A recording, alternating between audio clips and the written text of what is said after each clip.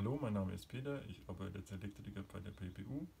Zu meinen Aufgaben zählen Planung, Projektierung Installation von Schaltschränken, die komplette Containerinstallation, Überleuchten, Lüftungen, Motoren anschließen bis hin zur Inbetriebnahme zum Schluss, bevor die Anlage ins jeweilige Land ausgeliefert wird.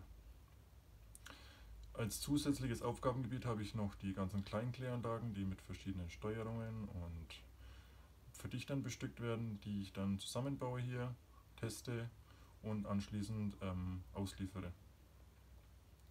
Warum Leute sich hier für ClearFox entscheiden sollen?